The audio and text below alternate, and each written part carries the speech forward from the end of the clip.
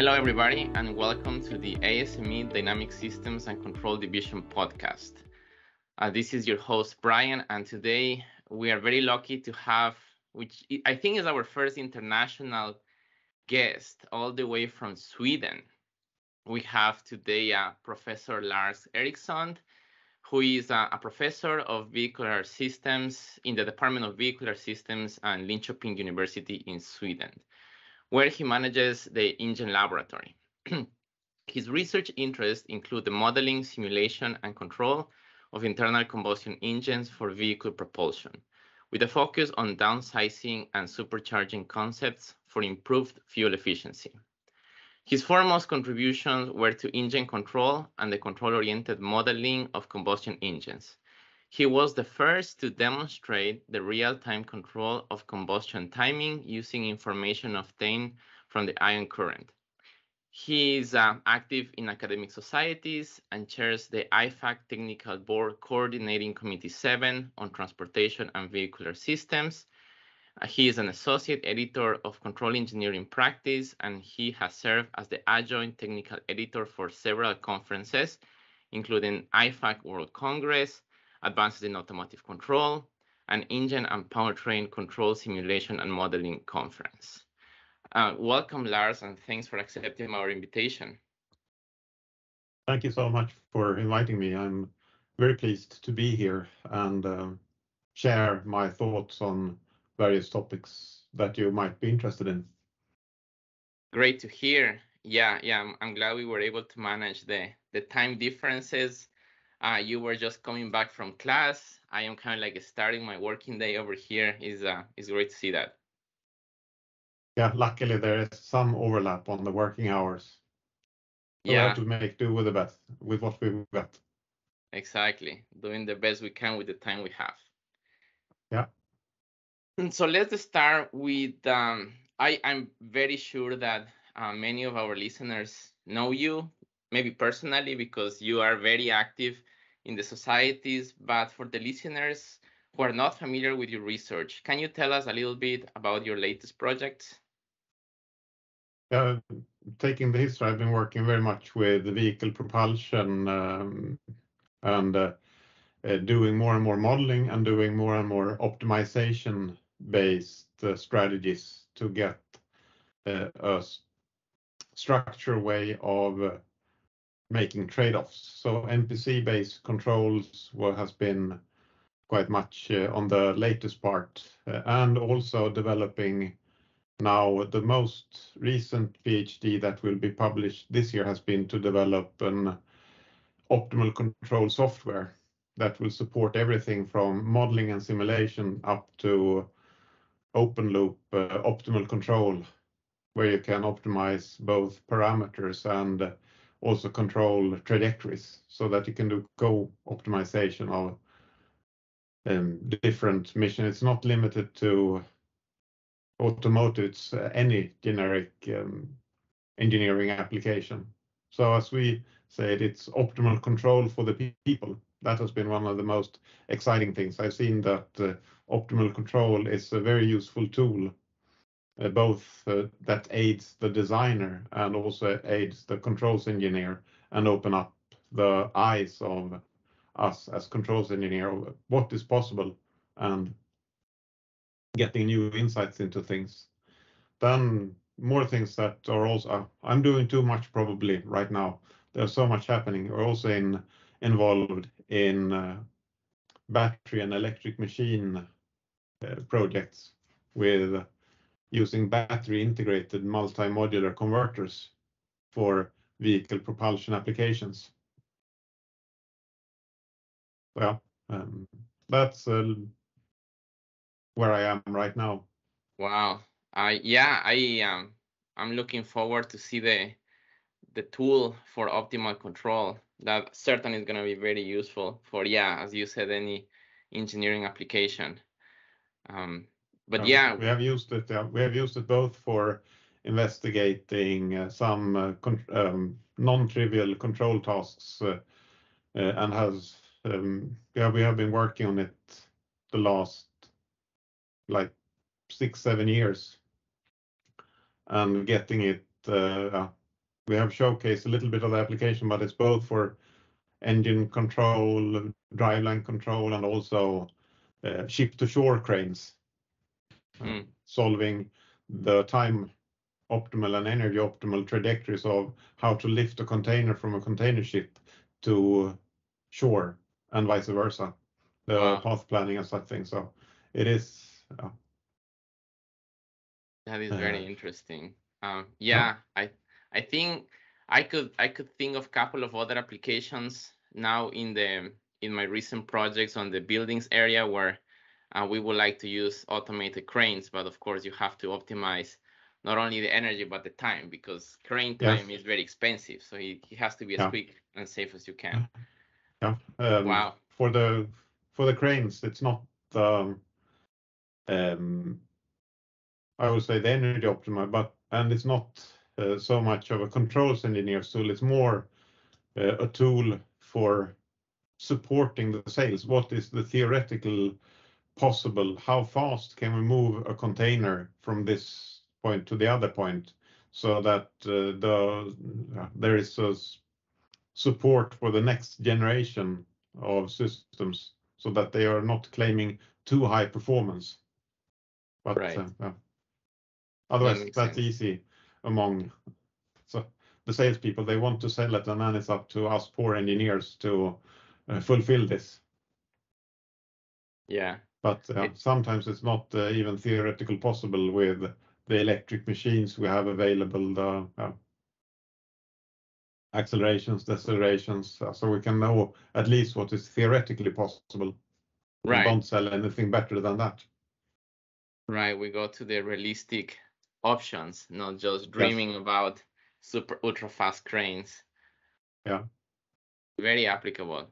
Yeah, Mhm. and as as we've heard, yeah, you've worked on uh, almost every aspect of vehicle propulsion. Yeah, I, I yeah, you you mentioned before um or or when we were talking before this interview that you just came from your engine control class. Now you're working on energy management in electrified vehicles. Um, I know that you've also touched some uh, connected and automated vehicles.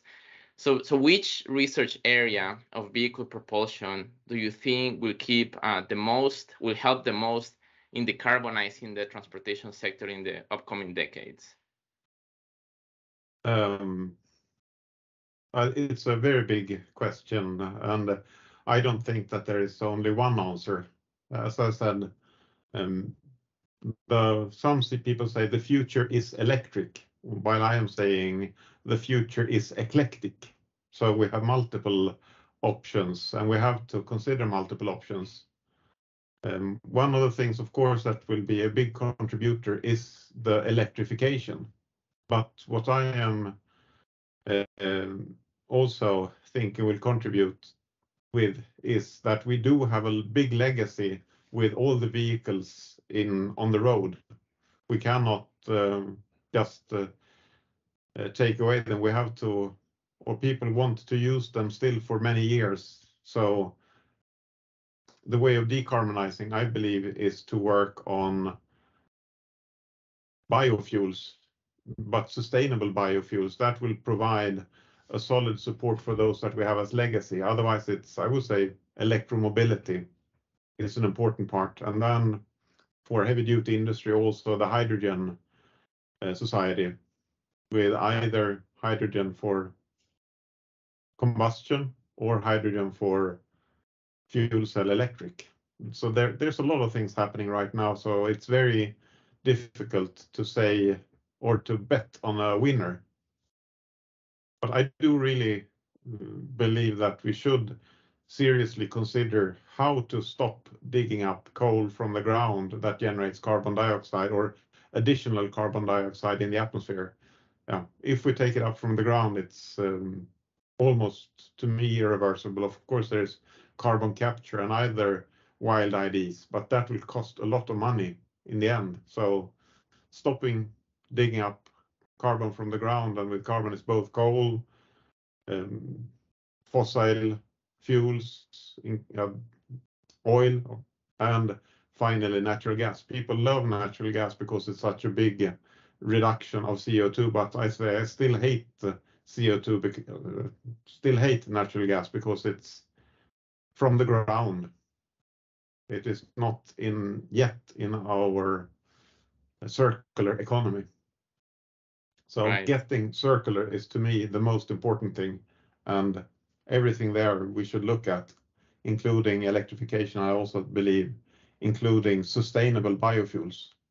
It is not an option to chop down our forests just to replace the hydrocarbons that we have been digging up from ground. We have to really think sustainable.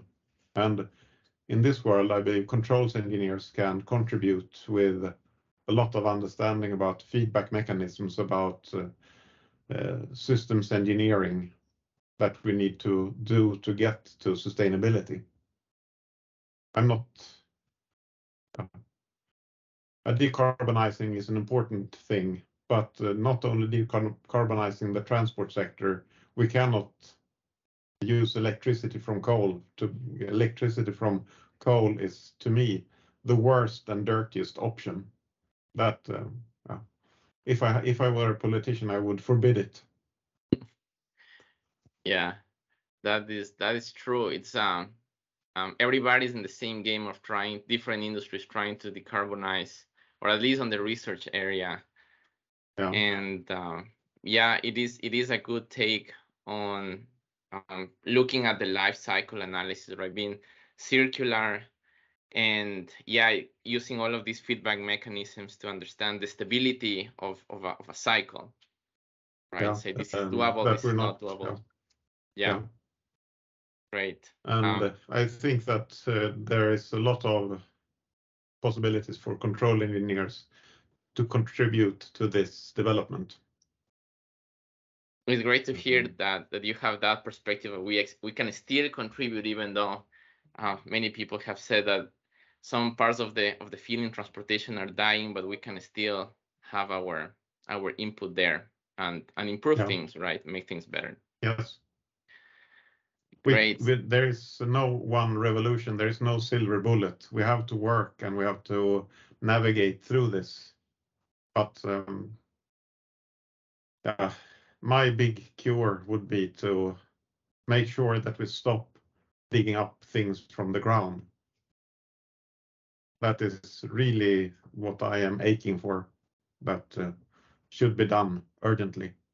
Yes, I agree. But yeah, uh, that's probably bloody obvious, so to say. Yeah, even obvious things is hard to hard to get done sometimes. Yeah. I would like to now um, pick on you on the on your industry experience. So you have been uh, very successful at actually transferring your your knowledge and your the control algorithms you have developed to companies in Sweden like Saab and Volvo. So can you give us some recommendations on how the control community can do this technology transfer more often to industry? That's also, uh, um, Um, it's not one silver bullet. You have a lot of tools in your box. But uh, First of all, the thing that I have always been doing is that I've always had collaboration with industry. All my research projects have had an industrial partner involved in the work.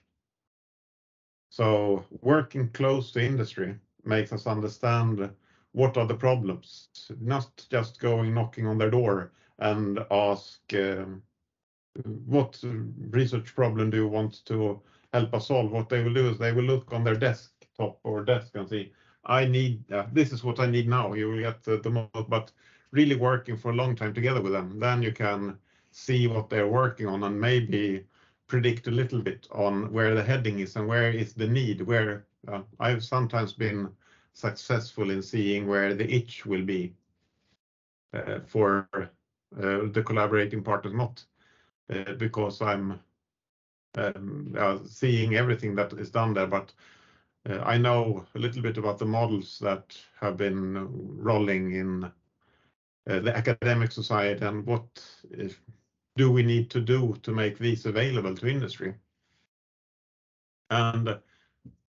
One way of working strategically with it is, of course, to have all uh, projects have an industrial connection. If there is a PhD student, he has delivery towards industry, talking to industry, and also continuously getting feedback on directions and so on.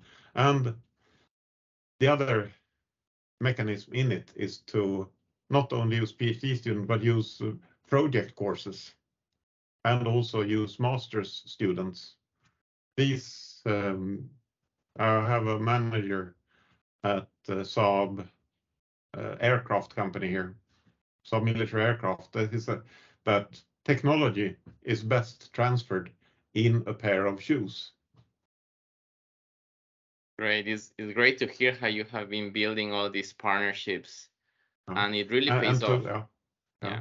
And to continue that, uh, the sometimes the researcher is so focused on getting the papers published and working on the research and uh, doing deep dive in it. So, and it's not relevant for the thesis or for research publications to do the productification, the um, um, small implementations that make it work in practice. So placing a master stu- thesis student next to the PhD student that is interviewing the PhD student, but is aiming to go to industry or spending time in industry to make it become implemented. So that is also where we have worked uh, quite uh, structured with some of our partners, foremost uh, Scania Truck Company, that they have been, we have, and also Volvo Cars, uh, we have been placing master students next to PhD students working on the most uh, hot uh, methodological uh, or as modeling and such things. And then that has evolved into things that they have gotten into their organizations and then been able to transfer into the product. And That is, yeah, that, that is a great uh, suggestion to have all of these levels of involvement at different levels of how deep you go in a topic, how wide you go, how implementable. I think that's one of Yeah. the lessons I got also from my PhD that um, although it's very important to have this theoretical and, and proof stuff on paper, um, the, the one of the best gratifications is when you deploy it and it works. Is that feeling is a lot of work, but that feeling is great. And and Yeah. um, I think there is a lot of value in that too, and obviously the technology transfer to Yeah. industry. Yeah. And sometimes it, it uh, the um, uh, what do you say the credit or the uh, feel good feeling doesn't come immediate, but uh, after some years, as me, I've had the opportunity of staying here, and people uh, have been able to contact me. So I finished my PhD thesis in 1999, and around 2004, 2005, I got an uh, email from an engineer at Ferrari that said, "Your PhD, the- thank you for your PhD thesis. It was very valuable when we implemented our next generation of uh, ignition control." That is awesome. Yeah. that is And a that great is- story. yeah. Uh, and yeah, being still here is that now I can enjoy the fruits of the things that I did many years ago. All the hard labor, exactly. Yeah, all the hard labor and yeah, it is it is very rewarding. I yeah, I, I I can tell because you're not only very good at you know doing this tech transfer, but you are very good at fundamental research too. And uh, I'm pretty sure that many students in automotive control know this, but you have a book, and I still look back quite frequently when I do my own research. So, speaking on that topic, uh, what suggestions do you have for students or early career scientists that might want to write a book on their own? Uh, I uh, didn't myself have that uh, strategy of writing a book. I would say it was an accident uh, in progress. There was uh, when we started a new course here. I had done some research, I written some papers, I worked on understanding like the fundamental principles, and the mod the book should perhaps be titled um, "Modeling for Control" because the focus is on modeling, and that is where I see the fundamental part. So uh, now I'm just talking about how my book came, our book came to be. So we were, had a course to start deliver and there was no course material available. So we started and uh, then that evolved and we, it evolved over, uh, started 1998 writing the first manuscript and then it became a book in 2014 when it was published. So it was, it gathered a lot of material while I hope that the book is good because we have been constantly revising and trying to find what is the essence, what is the fundamental part that we see that our students need for becoming su successful in industry. So it was both the industrial perspective and the academic perspective.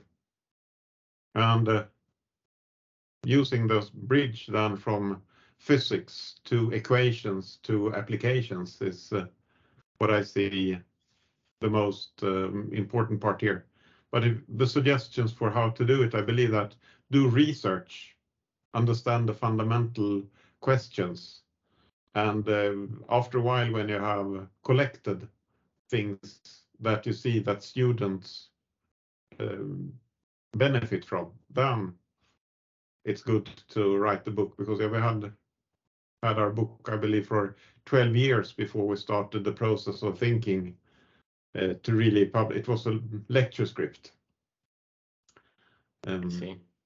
But um, for me, I don't have a strategy. It's more collecting the valuable information that students will utilize. And uh, I've been thanked now by, by several uh, both industrial uh, engineers that says, thank you for writing this book. It's so great that someone wants to write a book about what we are working on. That was from Volvo Cars and Volvo Trucks um, engineers that said that. And then I had a researcher said that, yeah, your book is great. I, I'm using the models that you collected in its uh, all time in my research. And that's also wow. a great uh, yeah uh, it's a great boost for the ego. it, it certainly is a great tool. I have used it a lot for mm. for understanding things and and yeah for doing my own research. Um, it's a great contribution to the community for sure. Thank you. You're too kind.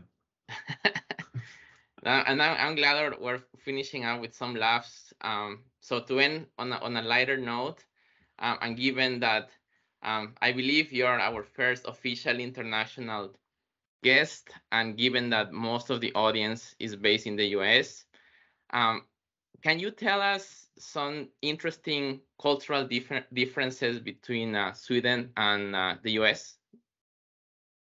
Yeah, uh, I would say there's sometimes a collision um, in culture due to that the Swedish people are very literal we, uh,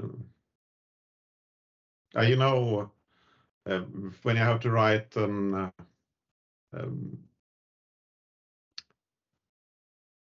um, you have to write a document uh, saying how competent this or that person is uh, mm -hmm. um, in for a thing. And uh, in Sweden, we are, as I said, very literal. We when we say good, we mean good that it's good. You know, you, you now know what good is, but if you write that in a, um, a document for a, a, promotion or something, it is more or as a variable for uh, someone who has uh, worked for you.